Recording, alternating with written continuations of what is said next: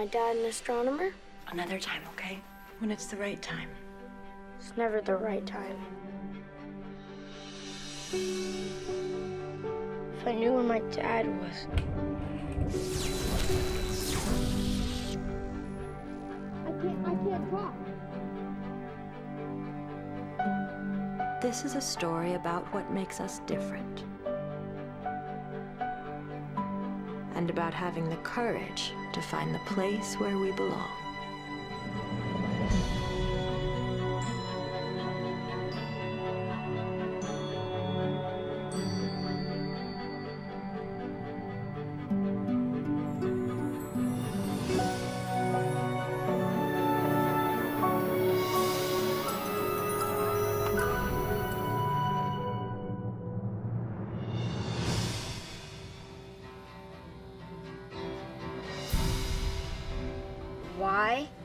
Run away? This. It's from my dad. It's where I found the bookmark. Why did my father have this book?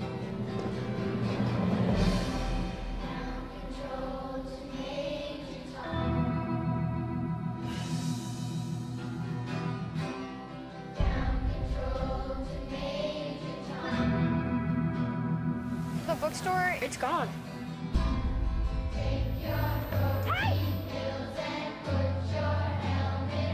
No one knows where I am.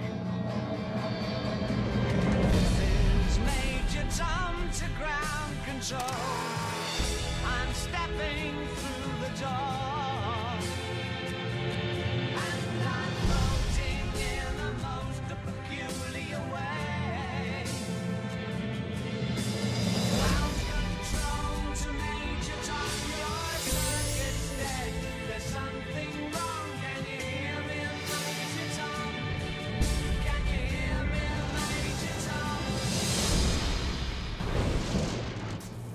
How do you know my name?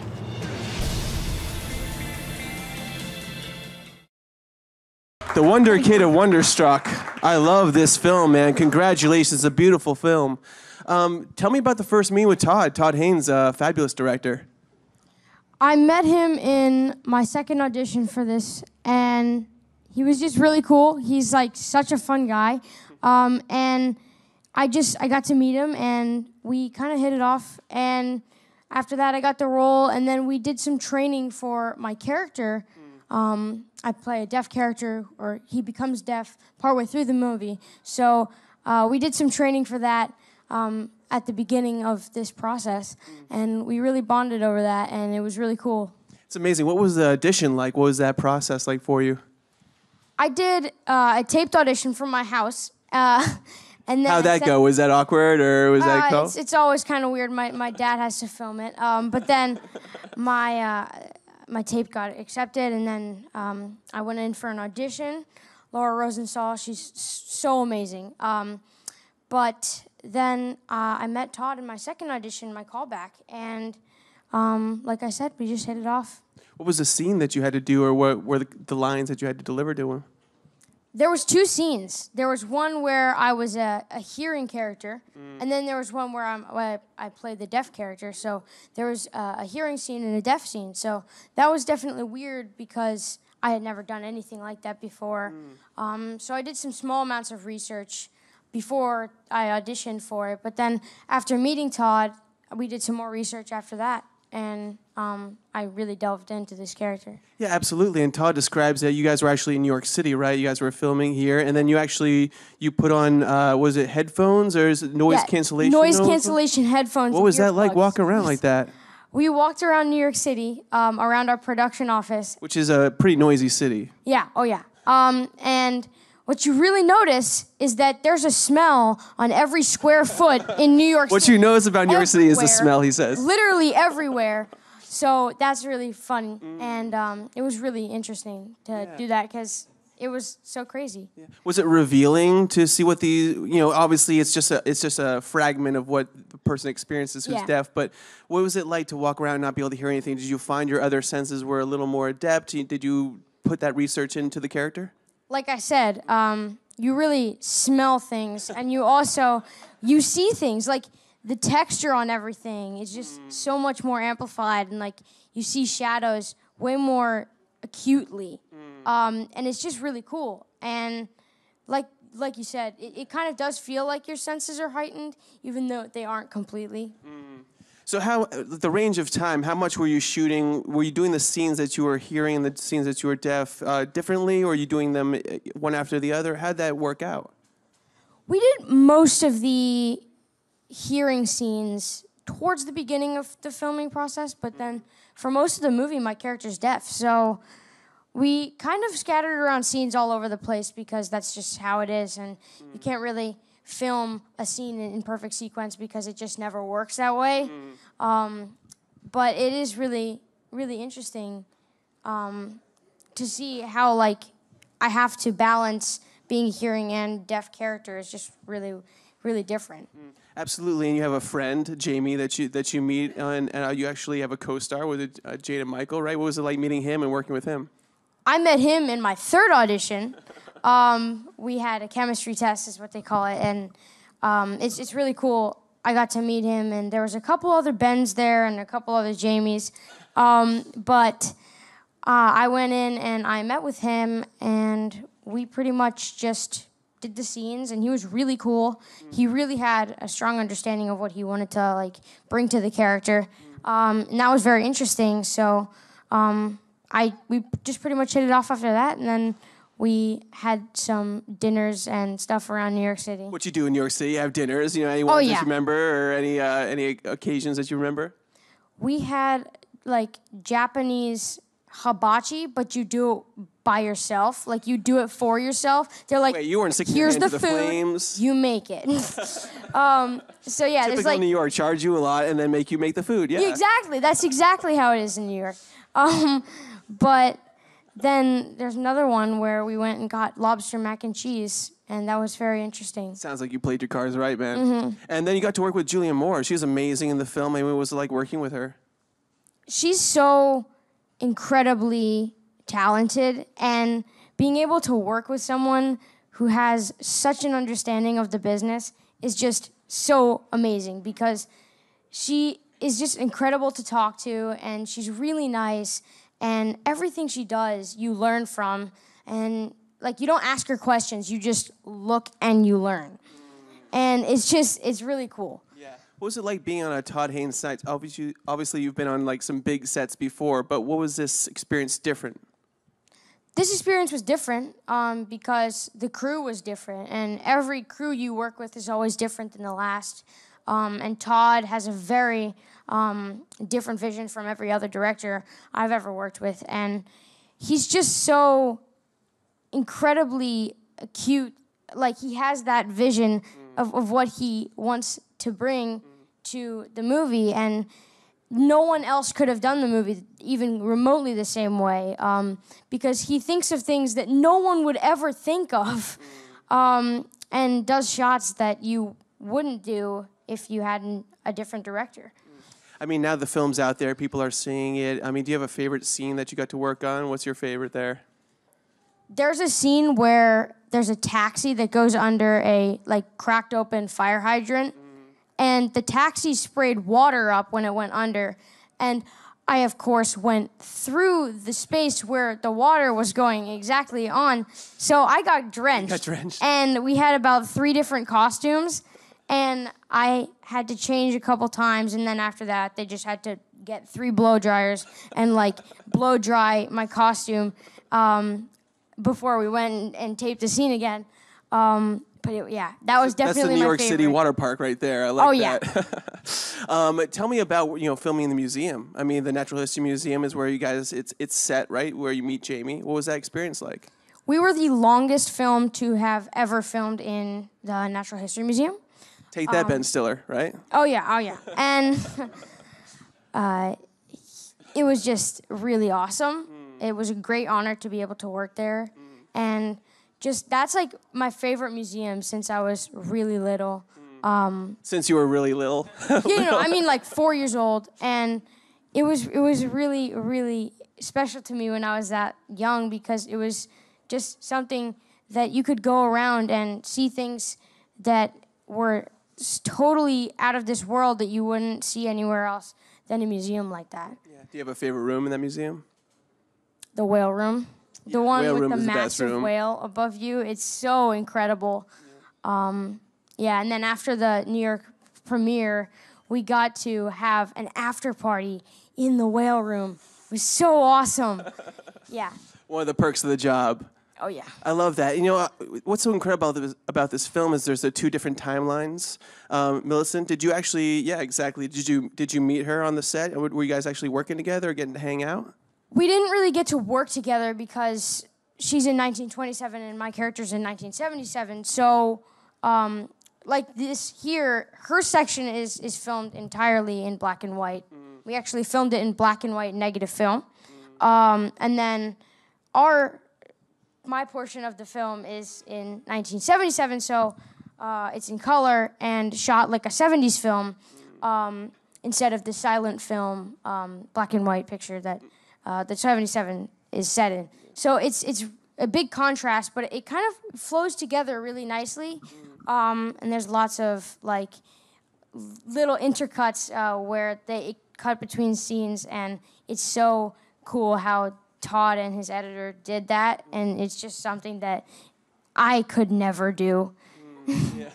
I mean, uh, you will eventually, man. Come on, you'll get there. I mean, did Mm, I you don't act- know. Did you get to hang out with Millicent? I mean, she she's she's fantastic in the film as Rose, and then she actually she's actually deaf, right? Did you guys actually get to um, communicate, you know, through an interpreter? Yeah, well, we did schooling on set together, so because we had to film 1977 and 27 in the same day, um, so we did get to to meet each other and talk to each other, um, and I learned some sign language to to communicate with her. It was really really fun. Anything you can teach us, or Um, I know sign language. there we go. That's all you need to know, and nothing else. There you go. Have a round of applause for that. It's it's not too good, but yeah. No, you did it. You did it, man. Um, you got to see the film come out. I mean, unfortunately, you got to you you had to miss the the Cannes Film Festival, right? That's Mm-hmm. because you were actually working on another big gig. But when you got to see it for the first time, what was that experience like for you? I was in a small private screening, but it was really cool because I didn't get to see most of the 1927 stuff. So um, getting to see that come together was really awesome. But also getting to see my portion and the way that they cut it together and the way it all came together was just really nice. Are you staying in touch with anybody from the set? Are you guys still in touch? Yeah, I mean, we were doing lots of press um, a little bit ago through all of this, so um, I got to see both of them and I got to talk to everyone, and it was really nice. And every once in a while, I'll email Todd, and he'll email me back, and we'll just talk. You're just emailing Todd Haynes. That's Oh, yeah. amazing. I love that. Um, now you you missed the premiere because you were actually filming a, a movie with Robert De Niro. Now that's Yeah. a pretty incredible reason. Can you talk a little bit about that film? Uh, the War with Grandpa. It was really, Great really title. fun. I love that title.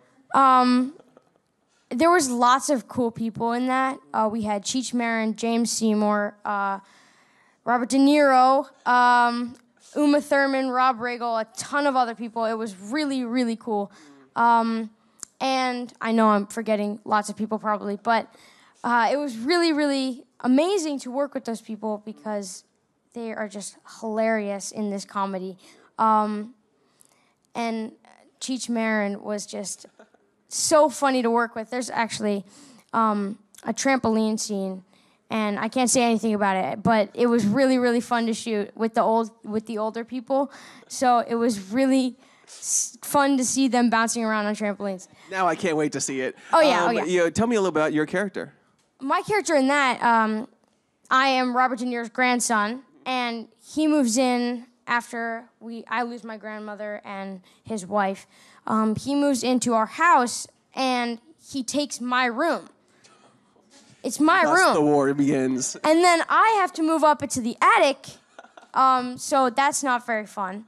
But I I got to um, kind of go head to head with Robert De Niro, which was pretty awesome um, and really fun. And he's just such a great guy and really humble, really nice, and just all around amazing.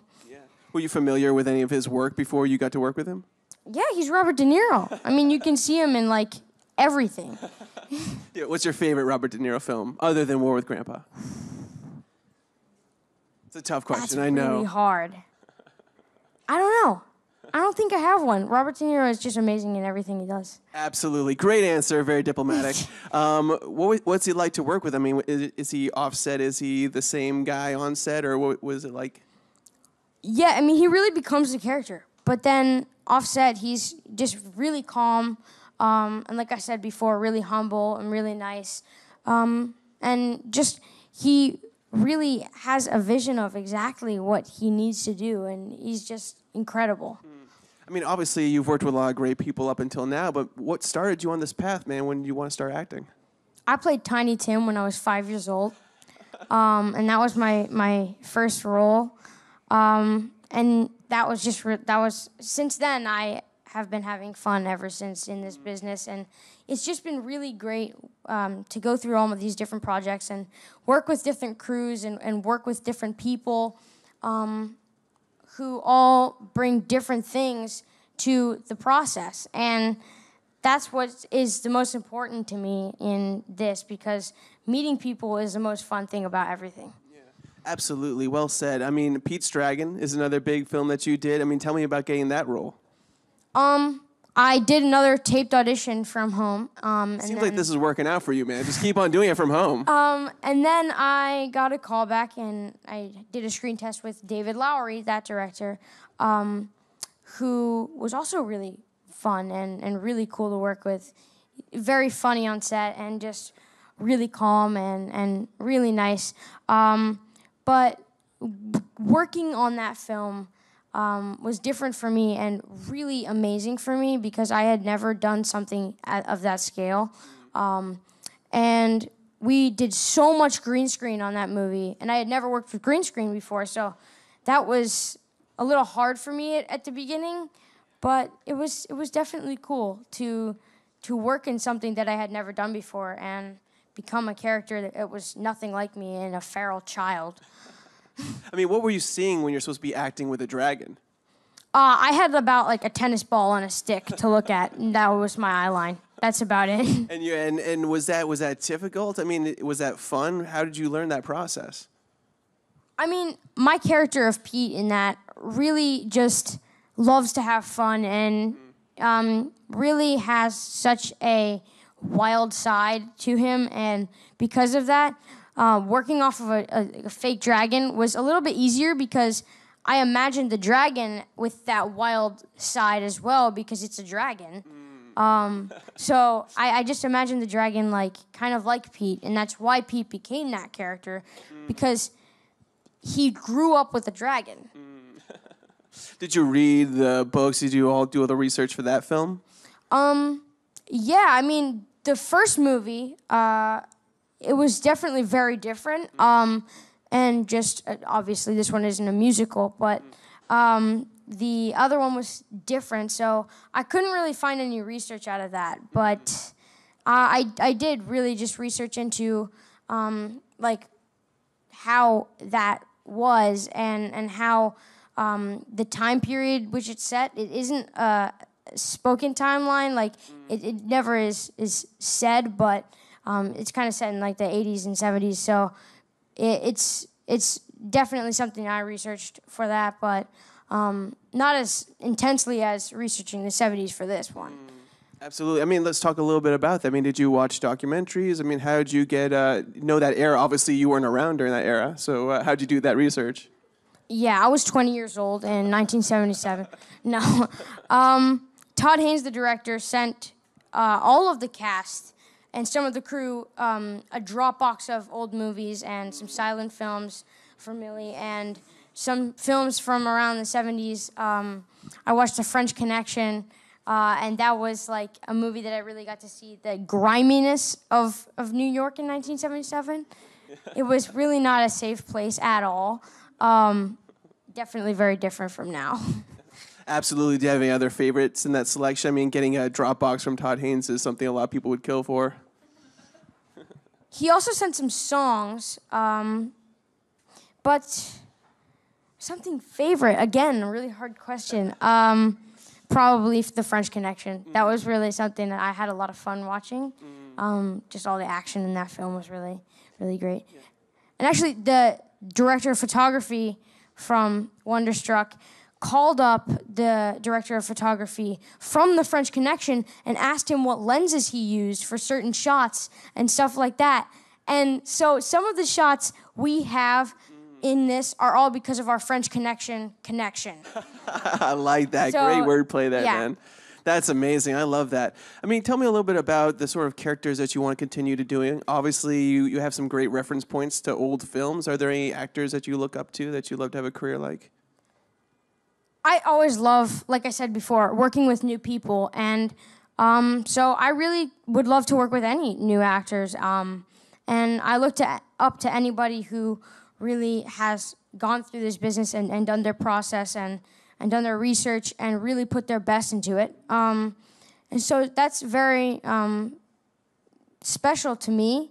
So that was definitely what I thought about for that. And you've had a lot of c- cool little fun roles where you get to play the younger people. You know, you get to play the young uh, on Boardwalk Empire, right, Mm-hmm. Elias, and then uh, you got to play a young uh, Jason Bateman in a film. You know, what, Yeah. what are those? This is where I leave you. Yeah, this is where I leave you. Exactly. What was that like? And did you get to actually meet Jason? No, I didn't. Um, I wish. Come on, Jason, give a dude a call. He played a young you. Yeah, I was um, filming that uh, on. Actually, I think it was in New York, and we were in a parking lot, and I crashed my bike, and um, it was really cool. Um, but no, I didn't get to meet Jason. Yeah, and what was Boardwalk Empire? And you've been on a couple TV shows too. Do you like that experience different? Uh, I mean, how do you like that experience versus the film world? Boardwalk Empire really helped me with almost like this because um, it's also set in a, a long ago time period. So because of that, uh, well, but even my section was even farther back from normal Boardwalk Empire. So um, I watched a couple episodes of Boardwalk Empire, um, but It's a safe space. You don't have to Yeah, worry about it. um, but then I uh, just kind of became that character in that time period, and that was really fun. And like I said, that helped me kind of do some another kind of period piece um, for this. Now, you've done a beautiful drama like this. You've done a comedy with Robert De Niro. I mean, what what what else do you want to do? Do you want to do like a superhero film? What else do you want to do? Yeah, sure. I Who would you wanna be? Green Lantern. I love Oh, Green that's a great. Yeah, let's get the Green Lantern back. I like that idea. Oh yeah. Okay, I love it, man. Okay, audience, quick Q and A. Let's go there. Hi, I have a hard question for you. So you're gonna be 13 soon. You're gonna be a teenager. So happy birthday. um, Thank you. Where do you see yourself in 10 years, and what would you like to tell yourself for to your future self, if you can, you know, fathom that right now? It's like a little digital time capsule. I like this concept. just like to have fun because a lot of adults in their lives they lose that fun that they have from their childhood and everybody keeps saying that um, but i think that's something that's important like you should be having fun no matter what you're doing and how old you are um, and so that's what i would want to say to myself uh, but where i see myself in 10 years i'd really love to to direct. Um, I have worked with a couple directors, and just I am always asking about what lenses we're using and um, what's the lighting like and everything like that. So um, I definitely like to direct, um, but then acting as well. I'd, I'd love to become a successful actor. I think you're already on your way, man. Okay, next question. Hi. Hi. Um, I was wondering what some of your favorite TV shows and movies when you were even younger uh, that inspired you to start acting. When I was even younger, I watched the Teletubbies. um, and Super Why. Um, I didn't watch too much TV when I was really little. Um, but yeah, that's, that's what inspired me to become an actor was really my sister. Um, my sister did some stuff when I was even younger before I was um, doing that uh, as Tiny Tim. And then I played Tiny Tim because she was also in the show. So I, I, I wanted to try it out because she said it was really fun, and I'm really only here because of that. It's a family effort. I love it. Okay, one last question. Hi there. Hi. Hi. So you got to film at the Queen's Panorama Museum as well with Julianne. What was that like? Like I said before, Julianne is awesome, um, and I think that's hard. Um, my favorite part about that was really just the way that we shot that, and we actually used drones for some of those shots of the panorama. Um, and like I said before, with the other museum, it's a great honor to be filming in in a museum, uh, and it was just incredible to be on that panorama where nobody's really allowed to go. That was really fun because nobody else is allowed to go. So, yeah. That's amazing. Well, there's some great scenes in the film. Wonderstruck is the movie. It's out in theaters right now. Guys, check it out. In War with Grandpa, you'll look out for that when that comes out. Yeah. Oakes, thanks so much for being here, man. Give him Thank a round you. of applause.